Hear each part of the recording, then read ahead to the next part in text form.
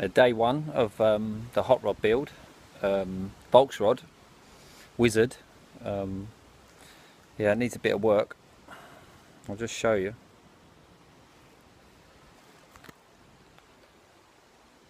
Yeah, this basically is the, the Wizard, which has been chopped down and messed around with. Um, yeah, it's going to be a bit of a project really. I've taken on a bit of a mission. I've got the uh, beam extender and some other bits for it.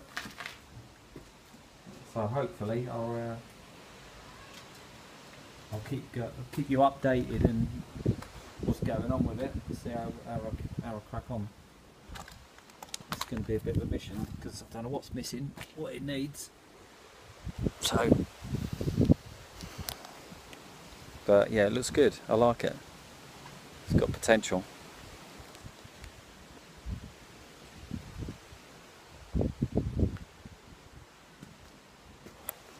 Okay, signing off. Um, cheers.